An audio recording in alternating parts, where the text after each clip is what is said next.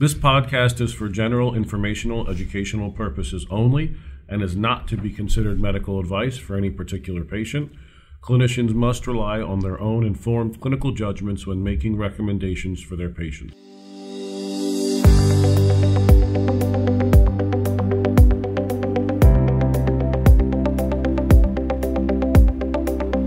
Welcome, everybody, to another episode of PHM from Pittsburgh. I am your host, Dr. Tony Tarchichi. I'm a MedPeds trained pediatric hospitalist, in case you're new here, uh, at UPMC Children's Hospital of Pittsburgh at the Paul C. Gaffney Division of Pediatric Hospital Medicine. Now, as you all know, we are all dealing with COVID 19 and the repercussions of this pandemic. And there are places in the country more severely affected. I'm not telling you anything you don't know. You know about New Orleans, about uh, New York, you know about it was DC, these cities that are really hit very, very hard. In those cities, again, as you know, some of our pediatrician colleagues are being asked to see adult patients and take care of them because there are so many affected patients that the hospital just needs to do that. One of the things that has popped up to help them is something called the Popcorn Network. Uh, and my guest will introduce what the Popcorn Network is, but they have created a set of learning materials to help pediatricians rapidly understand and learn about adult medicine which is very, very important. The Popcorn Network reached out to us at PHM from Pittsburgh asking if we would mind doing a couple of episodes on this helping to acclimate pediatricians or any physician who's not used to doing this, taking care of adult patients with COVID 19. We, of course, we'd be happy to do it, uh, which brings us to this episode. I want you to know what to expect from this. This is not an all encompassing review of internal medicine or family medicine. This is not a board review course. This is high yield, exactly as the title says, crash course. Information that the pediatricians who are taking care of adults need to take care of those adults. We're going to do our best to cover as much as we can. I'm going to introduce my guest today. And then he is going to tell you a little bit about the Popcorn Network. And what we have today is uh, this episode is going to be questions that were that were asked by pediatricians who are taking care of adults in the field right now. They have written the Popcorn Network or gotten a hold of them in one way or another and asked specific questions. We are going to go through them one by one and address them.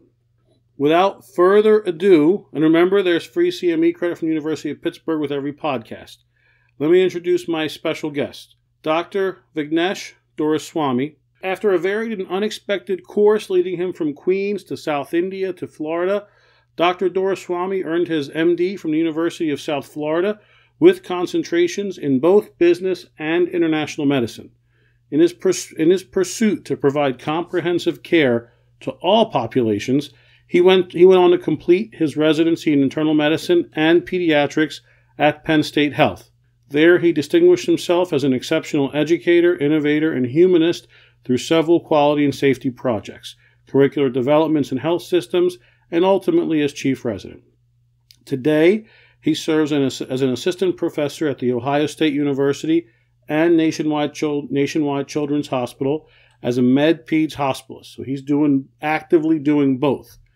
He continues to be active in medical education and is now using his training and expertise to help prepare others take on COVID through this newly minted popcorn network.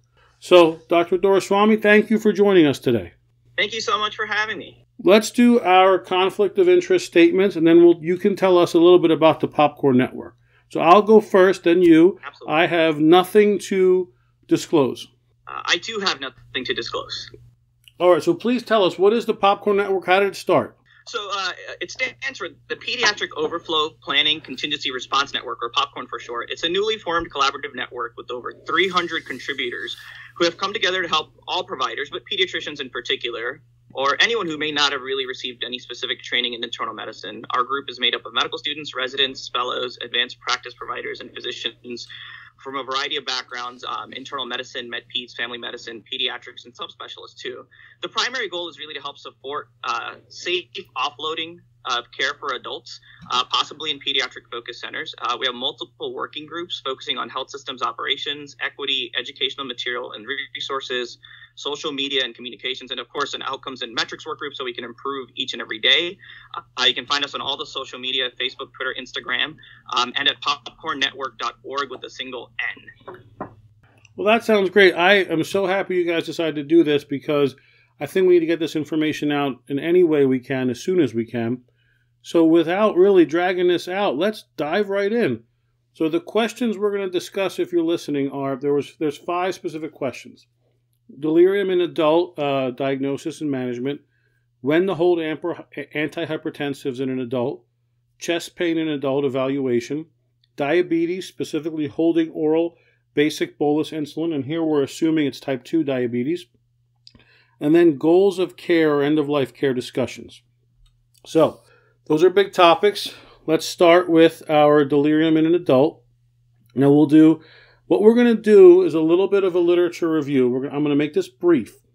Then we're going to discuss it in the context of a pediatrician seeing an adult patient during this pandemic who they feel may have delirium, how to best go about it. To do the lit review, I really went through three major articles. The first is Delirium in Hospitalized Older Adults by Edward Marcantonio et al., and it was published in the New England Journal of Medicine on October 12, 2017.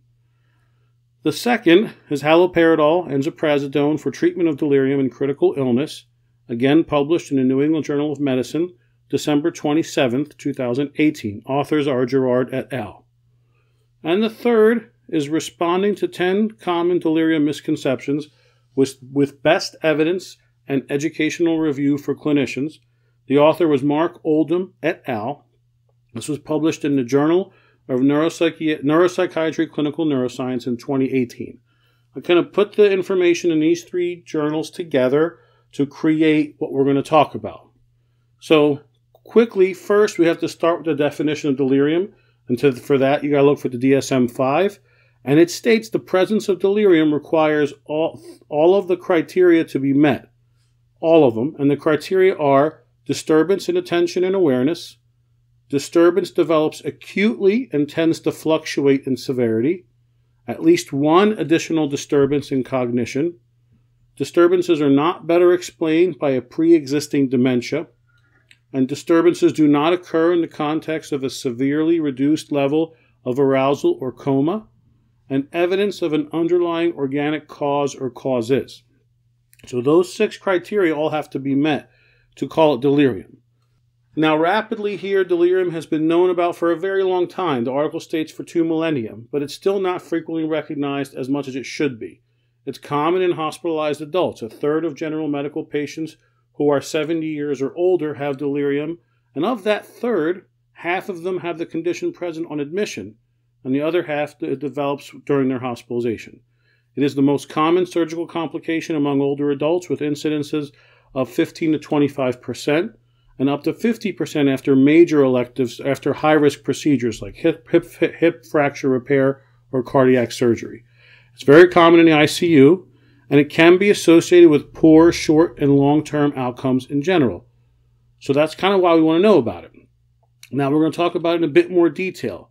There's actually two types of delirium. There's hyperactive, which is the agitated type, it's the more common type, and there's hypoactive, which is a quiet type, which is usually associated with a poorer prognosis. That's probably because it's less frequently recognized. The agitated type, or the hyperactive type, is the one you're most used to thinking about. This is the upset patient pulling out his IV, swinging their arms wildly, that patient. The hypoactive type is a patient not cooperating, not taking their medicines, not fighting, just not doing it, not eating, not drinking, not participating in physical therapy, hypoactive. So let's talk about the risk factors for delirium because it's important for you to figure those, to know those to really help make the diagnosis. The risk factors are split into two major groups. There's a predisposing group, which means these, these are the things that will predispose you to be more likely to have delirium. And there's a precipitating group, which are things which will precipitate or bring on a delirium. So, within the predisposing group, the risk factors for getting delirium are older age, dementia, functional disabilities, high burden of coexisting conditions, male sex, poor vision, poor hearing, depressive symptoms, mild cognitive impairment, lab abnormalities, and alcohol abuse. Within the precipitating group, the risk factors are drugs, especially sedative hypnotics and anticholinergics, surgery, anesthesia, higher pain levels, anemia, infections, and acute exacerbations of chronic illnesses like COPD exacerbation. The way this works, honestly, is how you would expect it to work. The more predisposing factors you have, the fewer precipitating factors you need to give you delirium, which is why older, frail adults who have precipitating factors which may seem minor to a younger adult, they will trigger delirium. In the hospital, delirium is a significant risk factor for complications, which we talked about. You can get a longer length of stay and discharge to a post acute nursing facility more likely if you have delirium. Now, we're going to be talking about primarily younger patients. The assumption we are making, which is an assumption, is that if you're a pediatrician in a hospital taking care of adults because of a pandemic, they're going to try to give you the younger patients. And from what we've talked to the pediatricians who are doing this, that seems to be what's happening. So we're going to try to phrase this for pediatricians taking care of adults with COVID 19. So let's talk about the diagnosis. There was a study comparing clinical documentation and research assessments it suggested that only 12 to 35% of delirium cases are actually recognized when they went back and looked. The New England Journal of Medicine article, the first one, recommended a bedside assessment tool called the Confusion Assessment Method, or CAM for short. This, they said, is the most useful bedside assessment in multiple articles also. Both, all three articles talked about CAM. And it looks at four features. So this is how CAM works. It's a bedside assessment tool. There's four things you have to have the first and second. Have to. And then either one of the third or fourth. So the first two you must have in order to, for CAM to diagnose delirium. The first is an acute change in mental status with a fluctuating course. The second is inattention. So your patient has to have those first two things. Then they either have to have disorganized thinking or altered level of consciousness and then you can say they have delirium based on this CAM um, bedside assessment tool. Now, there's actually a specific CAM for everybody. The ICU has their own CAM, pediatrics has their own CAM, everyone's got a CAM. So, quickly, we're going to review differential diagnosis for delirium. This is going to be short. It's dementia, depression, and acute psychiatric syndromes. So, what do you do? You have this patient in front of you, and we've done our CAM it's a young adult with COVID 19, and you're taking care of him, and you think he has delirium based on the CAM. So remember that a new diagnosis of delirium could mean that there's a potentially life threatening emergency on your hands. So they recommend immediately, like we always recommend, to do an immediate history and physical with a good neurologic exam and possibly some lab tests. Now, in the New England Journal of Medicine paper titled delirium in hospitalized older adults. They have a couple of really good tables. The first is table three, which I'm actually looking for now. This was by far the most helpful table in the paper. It goes through the evaluation and management of delirium, and it walks through a common modifiable contributor to delirium. And they talk about the mnemonic for delirium, which is actually delirium. So the D in terms of things you can look at, the first D is drugs. And when I talk to psychiatrists in preparation for this podcast, I want to first give a shout out to Dr. Krista McDermott, who I talked to numerous times about this, who was very helpful. Drugs, specifically newly initiated drugs, increased doses, interactions, over the counter drugs. Uh, something that she brought up was you may give your patient a benzo because they're nervous, worried, they have COVID 19, they're fearful, and you want to calm them down, that benzo could trigger delirium. On the flip side of that, you could have a patient coming out of the ICU who was intubated, who was hypoxemic, and he was perhaps or she was intubated for days because we know these patients are intubated for longer. So maybe weeks. And they've been on uh, benzos and they've been on maybe opioids, and maybe accidentally the ICU stopped those medicines abruptly. Well, that withdrawal can trigger delirium. So look at drugs from both angles.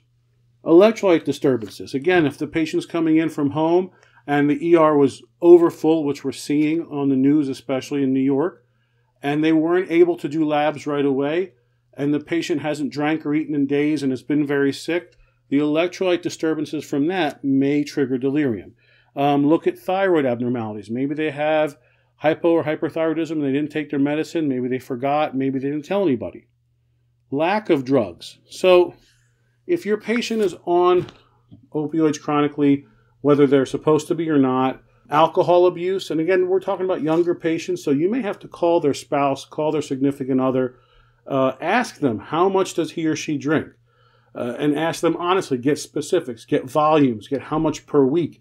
If they're going through three bottles of 1.75 liters of Crown Royal a week, that's a lot. They may be going through alcohol withdrawal, and that may be triggering delirium. The next one for delirium is eye infection. Now, here's where it gets tricky. Uh, SARS-2 coronavirus is there's no treatment for it, irrespective of what we're the, what the debate is in the national news. We went through this in our last podcast. None of, none of the treatments have really borne out fruit yet. So we have to treat the symptomatology from it. Because remember, delirium may start abruptly. So if your patient abruptly gets delirium, look at what has changed in their clinical course. Meaning, if all of a sudden they became dyspneic and hypoxic and or hypoxemic and then they got delirium, you may have to correct the dyspnea and hypoxemia, maybe by putting them on CPAP or BiPAP or giving them oxygen, and that may correct the delirium. Look for these acutely, especially if it happens very acutely, which it will. Look for what's changed. Um, and what uh, what Dr. McDermott did tell me is when they get consults for a patient who has delirium, they spend a lot of time reviewing the MAR, the medical reconciliation, what the medicines the patient has been getting, looking specifically for abrupt changes or things that may have fallen off accidentally that may trigger it. Then reduce sensory input. Remember, if your patient has thick eyeglasses or a hearing aid or, you know, is hard of hearing, and they didn't bring their glasses, they didn't bring their hearing aid because they just left the house quickly because they were in such bad shape, that reduced sensory input may trigger delirium. So maybe they need an assisted hearing device or someone can drop off their glasses if possible. And then, because this article is specifically for older adults, we talk about intracranial disorders like infection, hemorrhage, stroke, tumor, so can keep them in the back of your mind, but for these younger patients, that may be less likely. Something I didn't know were these urinary and fecal disorders. Um, so, like these cystocerebral syndrome, fecal impaction, urinary retention, that alone could trigger delirium. So, you want to look and make sure the patient's stooling um, or uh, urinating. And back to infections quickly, look for secondary infections. If the patient was in the ICU for weeks at a time and had a Foley in, maybe they have a UTI now. Um, maybe there's a pneumonia or something else that may have triggered a delirium in addition to the virus.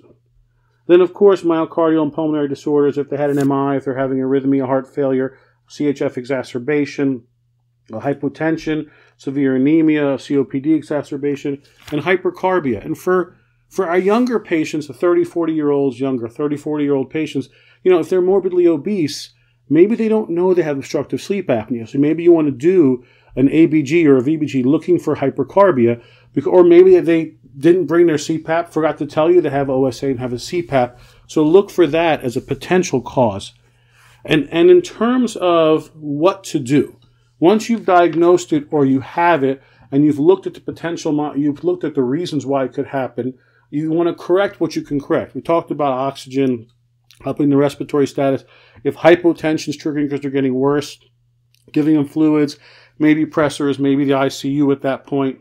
But environmental factors you can help with. First, you know, if patients coming out of the ICU, the ICU is one of those places where people flip their night and day very easily. So you want to reestablish night and day. So lights on during the day, off at night if possible. You put a calendar and a clock in the room if possible. Ideally, you want family there, but that can't happen in these COVID cases. So you know, FaceTime with family as much as possible. Even a picture of that person's loved one by their bed may be helpful. Even one of the pictures from the nursing station from the crappy printers that in itself may be helpful. Um, and you then want to consider getting them back to sleeping at night. Something that's easy to use, that's helpful, is melatonin. Just giving them melatonin, letting them fall, get letting them sleep more at night may help correct this if they're if they're having trouble sleeping and that's triggering it. Look for pain as a potential cause. If they're in a lot of pain and they've been hiding it, uh, if you if you treat the pain, you may then get the delirium under control. Um, in addition to that, you may end up having to use drugs, especially if they're these hyperactive delirium and they're hitting or pulling out their IVs or harming themselves or the staff. I mean, you just can't let that go. So when you look at drugs to treat delirium in the acute inpatient setting, there's somewhat of a discussion in the literature, the disagreement on what to do. It generally seems to be that second generation antipsychotics are used. Different places use different ones, um, and there are side effects to them. So for this, the best table I found was table five in that original New England Journal of Medicine article. It goes through all of the drugs haloperidol, risperidone, olanzapine, quetiapine, ziprasidone, and lorazepam. It, the major side effects they really worry about are these extrapyramidal symptoms, which you all know about. The most, the highest ones to do it are haloperidol and risperidone. Everywhere uh, region you're at, some places will use quetiapine more, some places will use ziprasidone more. It depends on where you train. If you're going to use one, they may make the patient uh, sedated or tired. It's ideal then to do it at night, so they f- hopefully fall asleep give them some melatonin, and they and they feel better and do better if you're going to get to that point, I would strongly recommend a psychiatry consult to assist you with this, depending upon where you are and if they're available. And again, if you want a list of medicines that can trigger delirium in patients, Table 4 in the same New England Journal of Medicine article has a really nice table of drugs that can are at higher risk for triggering delirium. And it's what you would expect benzos, opioids, Sedative hypnotics like zolpidem, antihistamines, of course, alcohol, anticholinergics, anticonvulsants, TCAs, histamine blockers, anti-Parkinsonian agents, antipsychotics, and barbiturates. So, after going through that, first of all, Vig, did I miss anything? Uh, not that I can think of. I, I actually love that uh, paper from the New England Journal of Medicine myself. I think it's fantastic. Um, I, I really don't think you missed anything at all that I'd want to say. Do you, in your practice, when you're seeing adults regularly, do you use the CAM assessment tool at bedside? Yeah, absolutely. I think that's sort of uh, what everyone uses where they train. And like you said, there's different CAMs for different scenarios. But I um, I use the CAM tool pretty much for any patient when I'm thinking about delirium. Um, so pretty much all the time. And uh, do you find that the environmental things like the lights off at night, um, you know, the picture, the calendar, all that. Do you find that that helps these patients? I'm very glad you asked. I would say more than anything else, and even though we don't, we may not think so, that I have found to be the greatest sort of tool that we have at our disposal. I'm lucky enough to work in a place where we have what we call a geriatric neighborhood. One of our units is uh, specifically considered the geriatric neighborhood. We have nurses who are trained to take care of folks who have delirium. And really, what they do is establishing day night cycles, frequent reorientation, having TV and uh, music on during the day to not allow the patient to sleep during the day a little bit, making sure we give them a little bit of melatonin as a chronobiotic, maybe at seven or eight o'clock. Um, we have them in sunny sunside facing rooms, so we have the shades up, the light comes in. I find that to be probably even better than anything else we have. Uh, one of the things there was the third article talked about a fair bit was if you have a patient who goes in acute delirium, there's oftentimes more than one modifiable cause for the delirium, and you have to maybe fix a couple of things to get the patient back. Uh, do you find that to be the case? Uh, absolutely. One of the things we were always taught early on is uh, just because you found one cause of delirium, don't stop looking. It's often very multifactorial. Like you said, if someone is coming in with COVID 19, it may be related to their infection, the drugs, their ICU stay. Uh, so I always keep looking um, to make sure that we don't miss something else. Okay. And then they did talk about the nursing staff and other staff being trained in these de escalation techniques for the patient which is helpful. Uh, have you seen, you know, in your practice, have you seen delirium in a 30, 40 year old patient? Uh, quite often, I would say. And uh, you mentioned this earlier. I often see them in patients who perhaps have had longer ICU stays, uh, who are just coming out of the ICU. They've been extubated for a while. Maybe they've been on sedative drips. Uh, and that's a very common population for me to see delirium. Certainly not as commonly as I see in folks who have those risk factors and limited cognitive reserve, but absolutely, 30, 40 year olds are uh, are not uh, accepted from having this, they certainly can get it too. All right. Well, then let's get to our next one. And I believe our next question we're going to discuss that they asked us is when to hold antihypertensives in an adult. Vig, I'll turn it over to you. Sure. So this is actually a great question, and I spoke to a lot of different people on getting this question because I think that if you ask a bunch of different doctors, you'll get a bunch of different answers. So I think I maybe want to approach this briefly by talking about when to hold various classes of antihypertensives, but big picture, I think for all antihypertensives, a good reason to potentially hold any of them would be um, states where you are already worried about lower blood pressure. So anyone who's coming in with sepsis, I think it's always reasonable to hold their, hold their antihypertensives because you're already worried about hypotension. You don't want to make it worse. And similarly, anyone who is hypotensive, they're orthostatic, they're, they've come in for syncope, they're complaining of dizziness. I think it's always reasonable to sort of hold or stop their antihypertensives. After that, however, it becomes a little bit more tricky because every class has its own uh, reasons for why you might be on that medication, and not always are antihypertensives used for um, antihypertensive purposes. So if we quickly uh, just go through some of the broader classes, you have your calcium channel blockers, uh, you have your dihydropyridines like your amlodipine, nifedipine, and your non-dihydropyridine like diltiazem verapamil. The non-dihydropyridine medications can often be used as rate control in folks who may have atrial fibrillation and flutter. And so discontinuing that can often lead them to have rapid ventricular responses, which is something we want to avoid. So that's something to be careful when you abruptly withdraw. Uh, similarly, for the dihydropyridine uh, blocker, uh, calcium channel blockers, if they're not on concurrent beta blockade, uh, abruptly withdrawing it could lead to reflex tachycardia or even uh, resultant angina.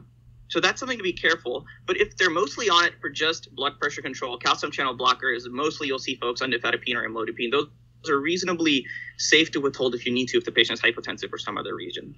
Um, ACE inhibitors and angiotensin receptor blockers is actually a good one to talk about. And I'll briefly throw in a little COVID plug here. I'm sure a lot of people have heard about the proposed mechanism of SARS CoV 2 going in through the ACE2 receptor and causing issues. Uh, and so people are wondering, should I stop it? Should I not stop it? I, every major uh, organization that can make a recommendation has recommended that we continue these medicines uh, for now, unless we have any more data. And for now, I think we have no such data. But one of the the way that the ACE inhibitors and ARB uh, work also affects the GFR. Uh, and there's usually a modest 5 to 25% reduction in GFR um, usually in folks who have hypertensive nephrosclerosis, heart failure, um, kidney disease. So in each of these patients, if you think about it, their intrarenal perfusion is already um, a little reduced.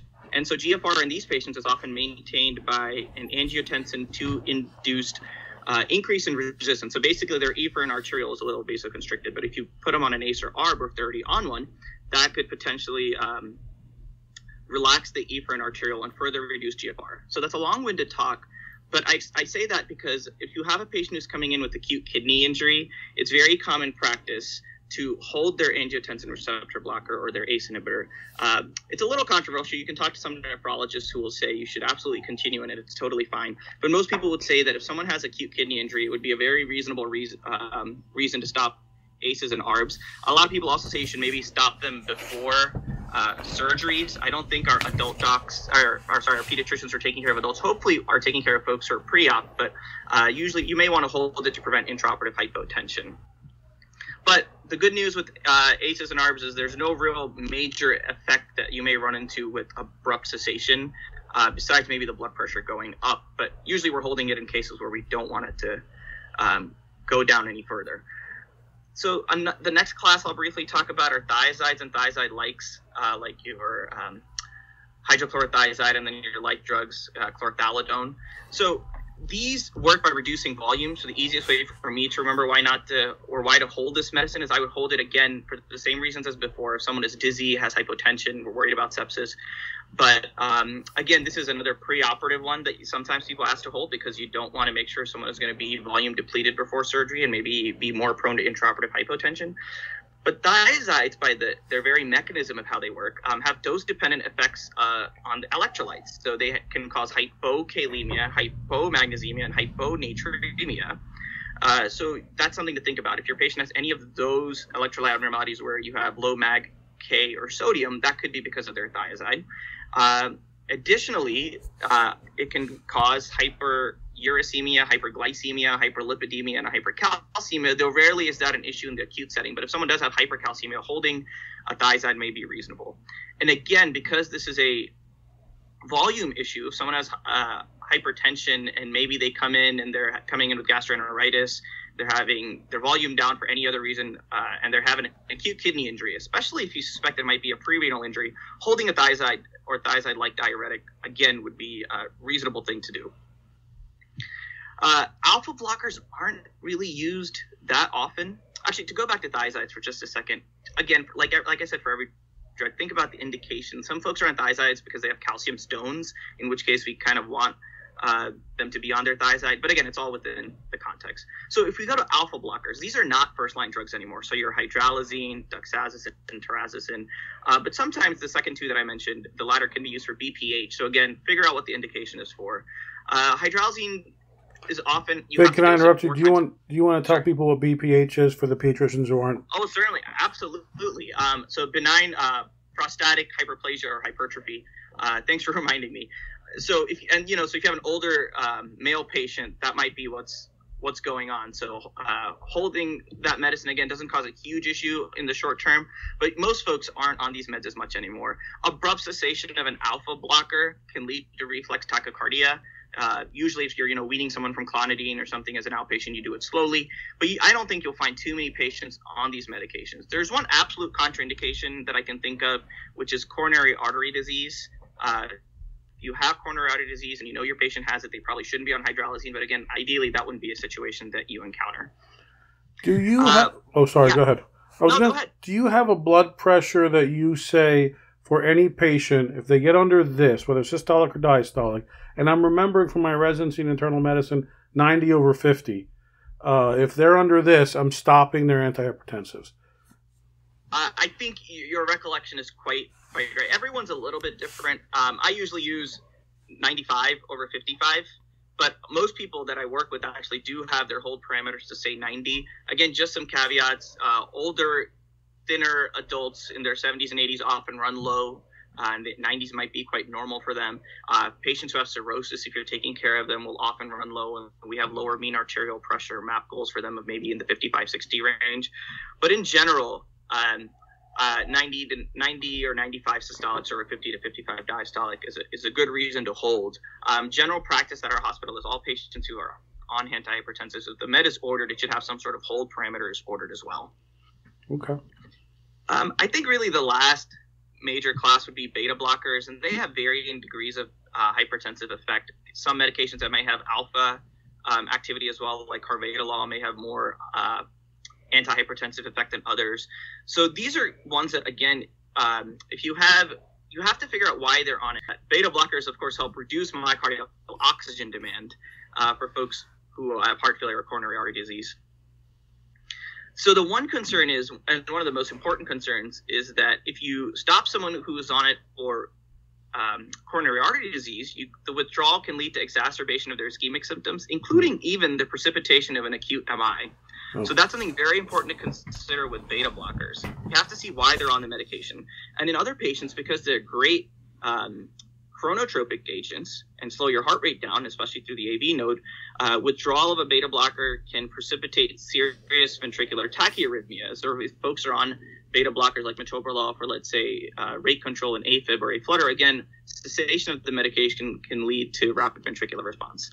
Uh, so just big picture, I, I, typically hold these medicines when blood pressures are low, 90 or 95 systolic. I hold them in patients who I'm worried are septic because uh, even though their pressure may be 130 over whatever, when I check them, that next blood pressure could potentially be even lower. Um, anyone who has dizziness, syncope, while we're trying to figure out the etiology, anyone with orthostasis, anyone who's dehydrated, I consider holding blood pressure medicines, and in specific, the um, volume based ones like the thiazides. So it sounds like back to the beta blockers if I'm a pediatrician taking care of a patient who's on a beta blocker, unless I can find out why they're on it, I'm more likely to hold one of the other antihypertensives if they have more than one.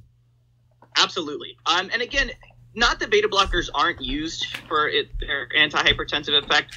They really aren't commonly used as first line anymore unless the patient specifically has another indication to be on them, such as heart failure with reduced ejection fraction or coronary artery disease. And those patients are going to be typically older, and ideally, pediatricians aren't, aren't going to be taking care of them because they're more complicated.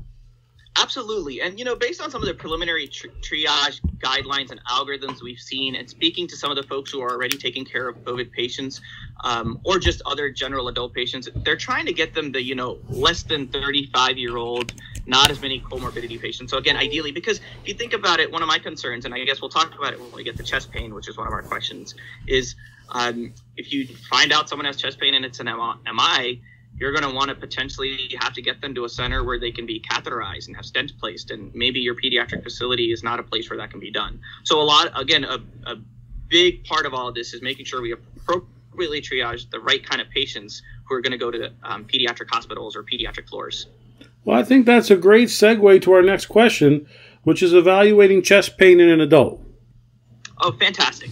So, this is one that gives everybody anxiety, I think, even people who see it all the time. Uh, and the easiest thing or way to think about it is what are the, the, the, can't miss diagnoses? At least that's how I like to frame it. And really, there's only a handful. And I like to think about them as cardiac specific ones, pulmonary specific ones, and then vascular causes of chest pain.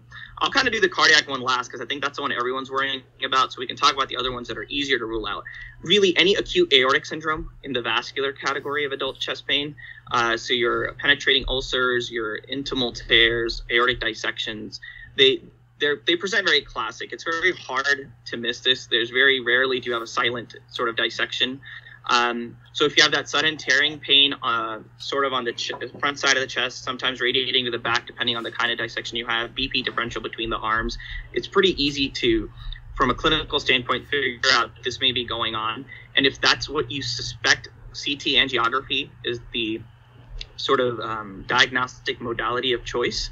And then based on that, you know, some of them i don't want to go into too many details unless you think it'll be helpful. There's type a dissections type b dissections. Some require surgical management some require medical management.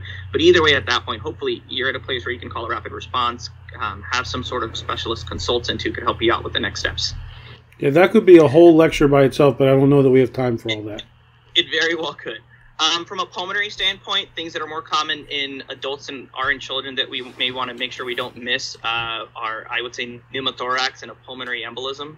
Uh, pneumothorax, though, children still have, so I think our pediatric colleagues would still be able to recognize that. Uh, anyone who's had maybe a recent procedure, uh, emphysema, COPD patients may have ruptured blebs. Uh, but it presents, you know, sudden onset, maybe some absent breath sounds on one side. Uh, so that's one that you don't want to miss, but it doesn't usually present the same way maybe an acute coronary syndrome would. And then PE is actually um, a reasonably common one in adults, and we see all the time. So patients who are coming are complaining of you know pleuritic chest pain, tachycardia, maybe they might be hypoxic. They have risk factors for clots like immobility or malignancy. Uh, these may be folks who, are, who have a PE instead. I want to bring up a, a, couple of quick tools you can use. You can look them up online on MDCalc or any of these other online calculators that quickly let you know whether or not your patient may have a PE. One is called the Wells criteria. Uh, you can quickly look through, and if your patient has even more than a single point, they're considered to have moderate risk. You also there are a set of rules called the PERC PERC. You can look those up too. If you say no to every single question, it has a very high negative predictive value, and you can quickly say, you know what, my patient probably doesn't have a PE. Uh, but if you're worried about PE, again, the, the test of choice would be a CT uh, PE protocol. It might it, every place I've been at has a different name for it, but basically it's a CT chest with contrast. Um, now, if your patient has kidney injury or can't use contrast uh, for any reason, you may have to go through a VQ scan. But I would always talk to your radiologist to see what's available if you're considering that they may have a PE. Uh, lastly, I want to move to what I think most people are worried about, which is is my patient having an acute coronary syndrome? So an STEMI, uh, ST elevation myocardial infarction, or an NSTEMI, unstable angina. Is that what's going on? So the classic teaching, of course, is that sort of central pressure crushing, radiating to the left arm or really either arm, diaphoresis, nausea. Um, especially in patients who may have known peripheral artery disease or coronary artery disease. And if you see that, that's maybe a slam dunk, very easy for you to recognize. But I think the important thing um, to know is that there are sort of three groups of people I like to think of who don't present with that classic presentation. Uh, I'm sure you've heard that women may have atypical presentations, the elderly can have atypical presentations, and then folks with diabetes, which is of course a common comorbidity, can also have a very atypical presentation and may not present the same way. So I would have a very low index of suspicion. Uh, like most other things, like when you were talking about delirium, if you're worried that your patient may have an acute coronary syndrome, seeing the patient, getting a quick focused history, figuring out the quality, onset, severity, radiation, what makes it better or worse, whether they have a history of an MI or coronary artery disease will quickly help you figure out uh, what's going on. The, the immediate test to do is to get cardiac biomarkers. Uh, nearly every hospital will have a troponin of some variety with various cutoffs depending on the kind of troponin you have, as well as getting EKGs um, every 10 to 15 minutes until your chest pain resolves. And you can kind of watch and see if they have uh, dynamic changes. So ST T wave changes are what you want to look for. And similar to how time is brain in a stroke, time is heart tissue. So uh, having a rapid response team of any kind called early, um, if you have cardiology readily available, if you do see ST changes or that troponin comes back elevated, um, I would say very quickly then escalating to the next step but really the as long as you can look at a patient and quickly just get an EKG and a troponin if you're worried about acute coronary syndrome, for the most part you will very quickly catch that. It's always helpful to have a baseline EKG to see if there's any changes, but you don't always have the luxury of having had an EKG before. Now, Vig, when I trained, uh, one of the things we would see sometimes is, is 20 or 30 year olds coming in with chest pain. And then if we did our exam and it was reproducible chest pain, and maybe we did an EKG and there wasn't anything concerning, uh, we I, at that point would say this is not an MI, you're fine.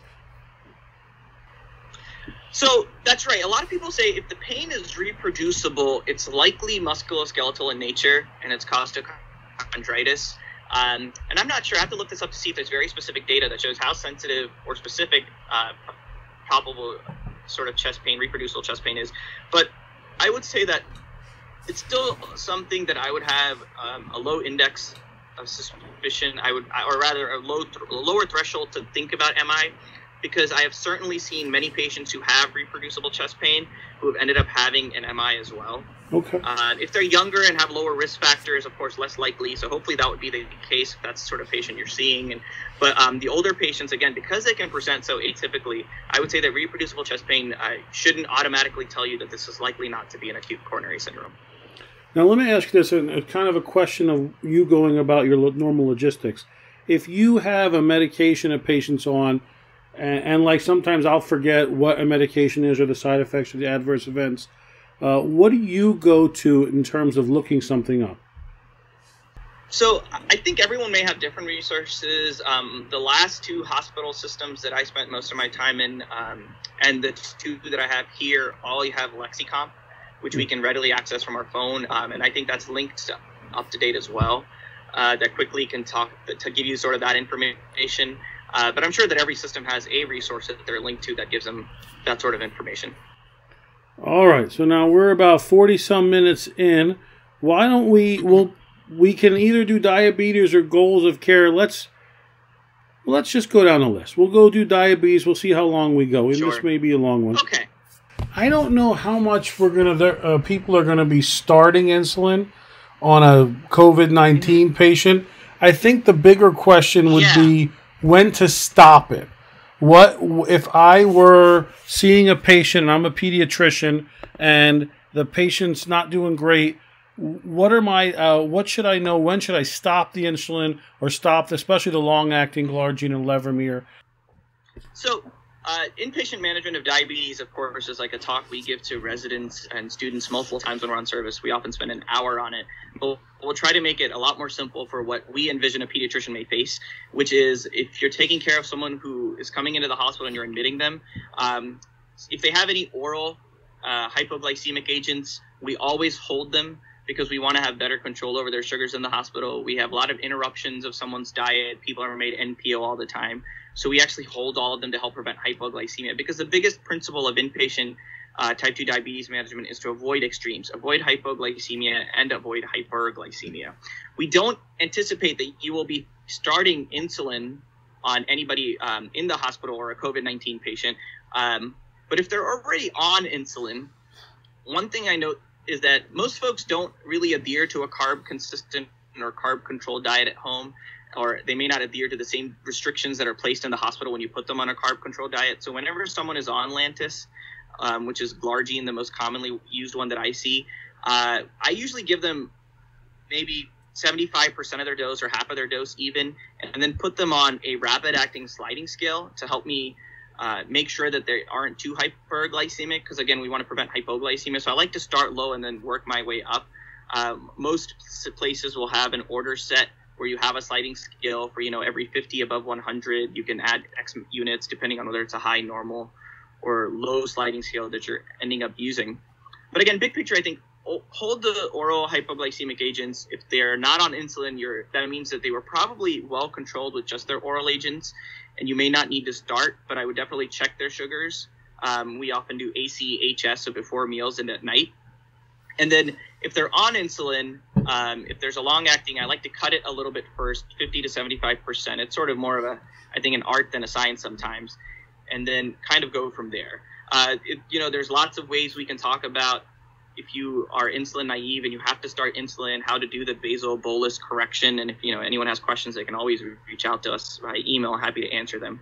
But Tony, do you think that covers what um, people were hoping to get out of diabetes? I know that this could be a very broad topic. Yeah, it could be a, a multiple hours. But let me ask you this: If I have a patient in respiratory distress, uh, maybe they're on CPAP or BiPAP, and they're not really able to eat at all because they're in this distress uh, and then they they're on Lantus or Levemir. Should I keep? Uh, should I cut it in half, or should I stop it altogether at that point until they're better? So that's a that's a great question. I think part of that answer depends on how much insulin they require. Of course, if this is a type 1 diabetic, different answer altogether. They require a basal amount of insulin at all times, so I would never cut it entirely.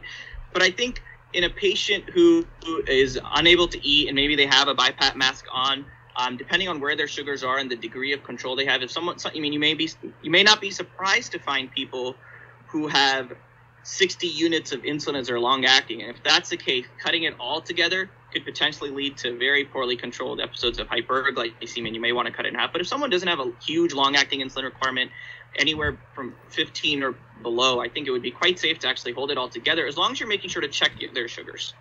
So um, again, inpatient type 2 diabetes management can go go on and on and we do hours of lecture and months of an internal medicine residency talking about it. But one very good resource that is actually on the popcorn webpage as well if you go to yale20.com they have a series of 20 lectures uh, made by their internal medicine program but they have an excellent 20 minute primer on the management of inpatient diabetes. The yale 20 group was very wonderful enough to um, allow us to link to their resource and have it be open to everyone. But if you want to go into more of the granular how do I manage inpatient uh, diabetes and type 2 diabetics in adults? I think the diabetes talk that they have is absolutely fantastic. Okay. All right, I think that's great. Now, our last question from our um, from those who are doing this right now are goals of care, end of life discussion, and I'm assuming what they mean is they they either have they probably have a younger patient, hopefully, and things aren't going well, and they want to have this discussion that, that this patient may never have had yet. So, what do you, how do you go about it, Vig? So, I think one big thing I want to make sure that I get across is that um, goals of care are often conflated with code status discussions. Uh, I like to think of them as two different things. Code status is its own thing, but a goals of care is literally what it says. What are what is our patient hoping to have um, their outcome from coming into the hospital and getting treated. Whether it's you know I want to go back so I can get back to my college classes, or I want to you know continue doing X Y Z sports, and so that helps. Knowing what they really want helps give us a reasonable perspective uh, and a reasonable objective of what we can get them to. So this is hard and it's more challenging because I've had more goals of care conversations with younger patients recently than I've ever had to in the past. And so I actually, in the case of COVID, I start off saying that there's still so much we don't know about this disease process. And we know that seemingly young, healthy folks are being affected by this virus in ways that we've never seen before, potentially. Um, and for folks who start having that early oxygen requirement escalation as it starts going up, I like to address this as early as I can because you know we often elect for early intubation in these patients to get them to the ICU and sometimes depending on how they do that intubation unfortunately may have been the last time they're able to talk to their families often through FaceTime because of all the visitor restrictions that we have.